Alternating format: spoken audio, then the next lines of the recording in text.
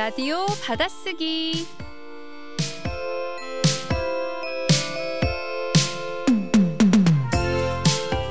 재미있게 우리말을 받아쓰기 해봅니다. 학창시절 추억도 떠올리고 우리말 실력도 쑥쑥 늘리는 시간이에요. 제가 한 문장을 또박또박 말씀드리면 여러분들 잘 듣고 받아쓰기해서 보내주시면 됩니다. 오늘 문장은 이거예요. 벚과의 벚꽃놀이는 내년을 기약했다. 크, 우리 작가님의 실력이 나오고 있습니다. 벚과의 벚꽃놀이는 내년을 기약했다. 이건 뭐 어떻게 발음으로도 힌트를 드릴 수가 없네요.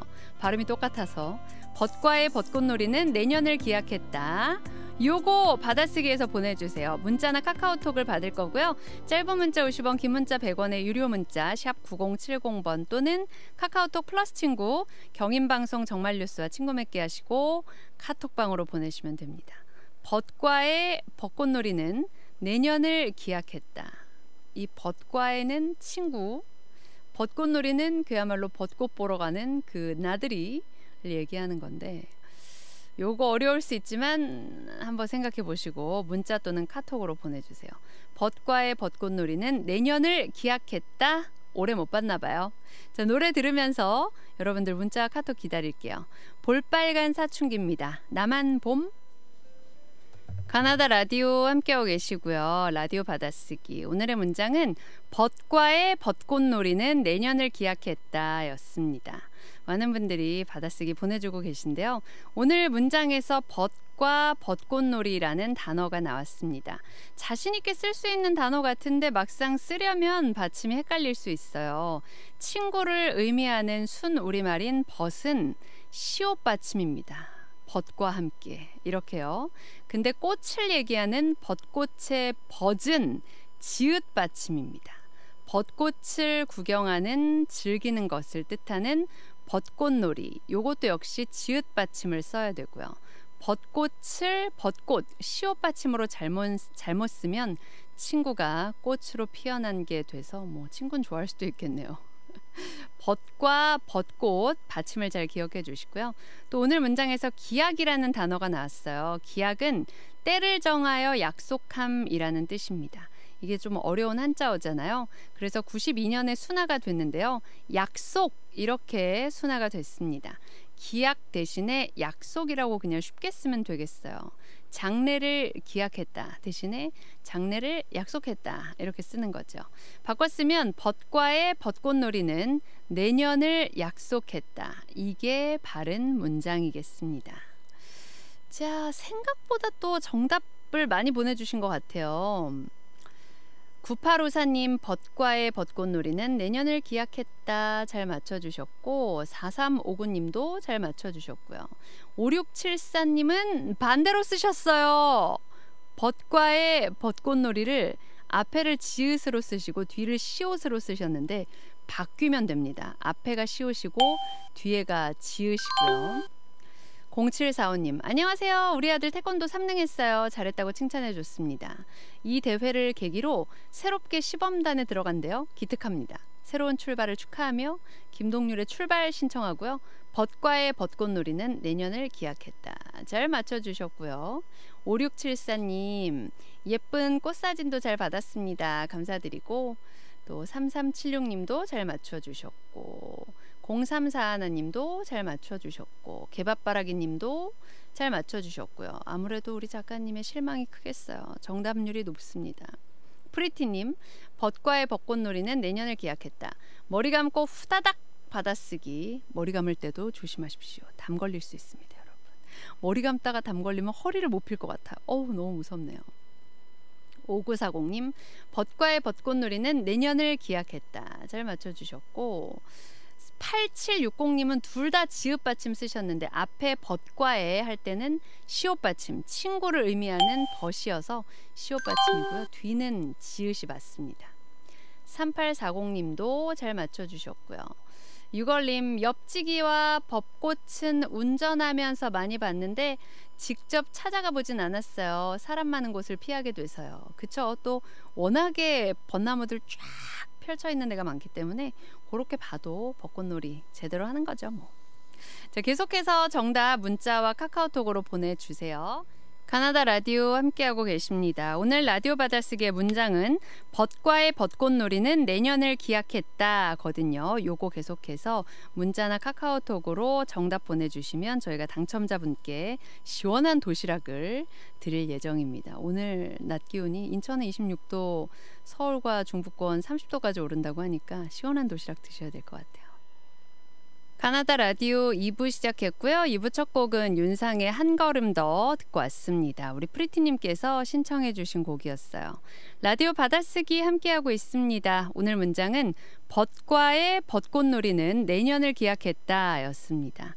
많은 분들 다 보내주고 계시고요. 문장에서 벚과의 벚꽃놀이라는 단어가 나왔는데요. 친구를 의미하는 벗은 시옷 받침, 벚꽃놀이의 벗은 지읒 받침입니다. 벗은 벗은 이것도 또 발음이 달라지죠. 뒤에 은이 붙으면요. 아무튼 친구는 시옷, 꽃은 지읒 으로 쓴다는 거, 요 받침을 잘 기억해 주시고요.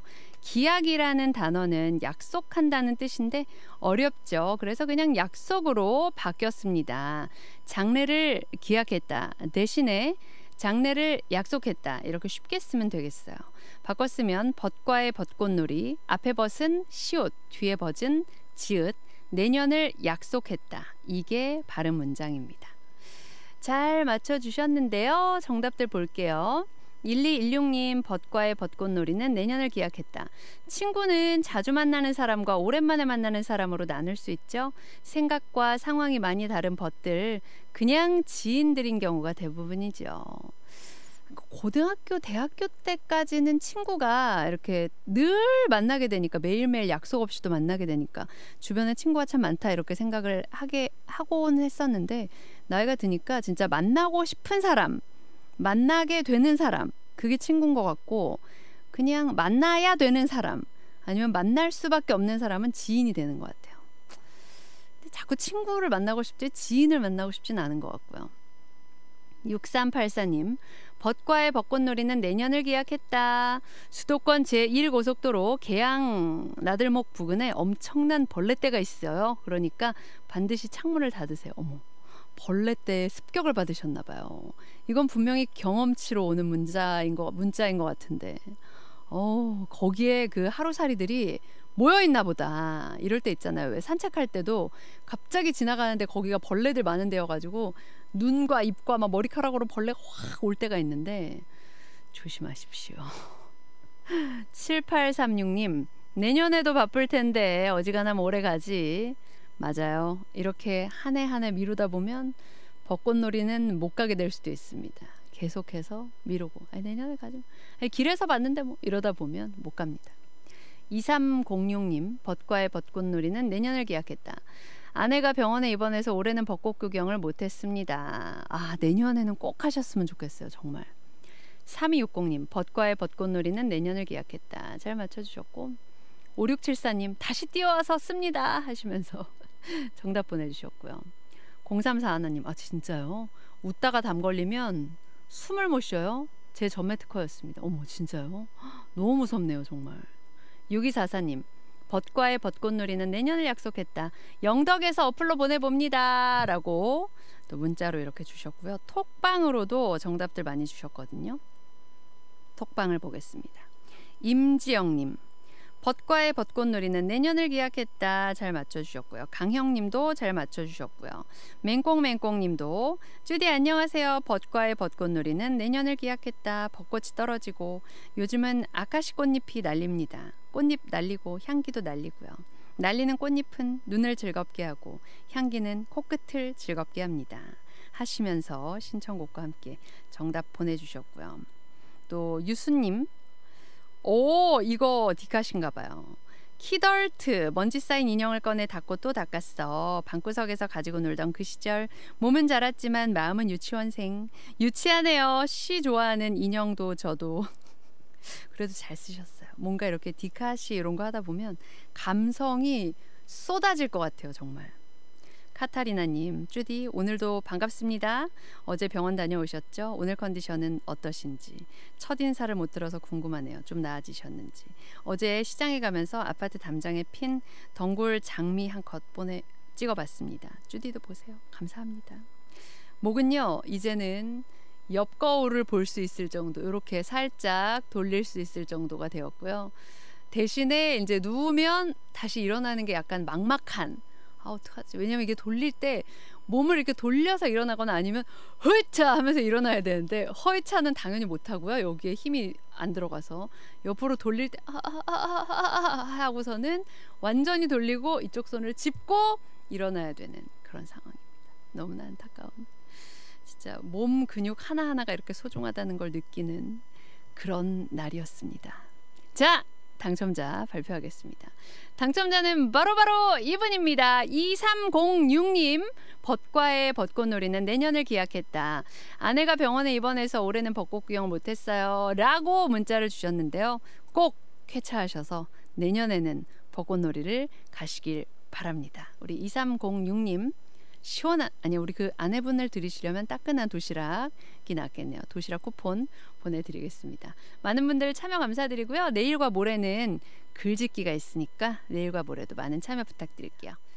돌체님 오해십니다. 틀린 문자를 발견하면 보물을 발견한 듯 기쁜 표정이 되는 쭈디. 너무 기뻐하지 마시라고. 아니에요. 이건 오해시고 우리 작가님이 엄청 아이디어를 짜거든요. 저희가 이제 방송 끝나고 나면 뭘로 하면은 이제 왜냐면 약간 틀린 게 있어야 또 기억에도 남으니까 어떻게 하면 좀 어렵게 해가지고 오답과 정답이 적절히 나올까. 이 마치 수능 볼 때 그 평가 아, 심사 뭐라 그러죠?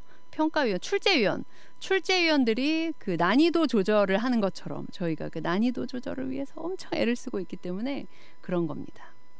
아까 제가 생각보다 정답만 많이 왔다고 했나 봐요. 그랬더니 영인애게님이 생각보다 주디는 청취자를 어떻게 생각하고 있는 거예요? 라고 하셨는데 이것은 제가 저를 생각할 때 전 이거 당연히 많이 틀릴 줄 알았어요. 왜냐면 그때 제가 적극적으로 우리 작가님이 벗하고 벚꽃 어때요? 그랬어요. 어머, 그거 다 틀릴 것 같아. 나도 헷갈려요. 이랬거든요. 그랬는데 확실히 저보다 나은 분들이 저의 예상과 완전 빗나가게 정답들을 많이 주셨어요. 그 그걸 여러분들 항상 생각하셔야 돼요. 사람들이 항상 모든 생각의 기준은 납니다 나.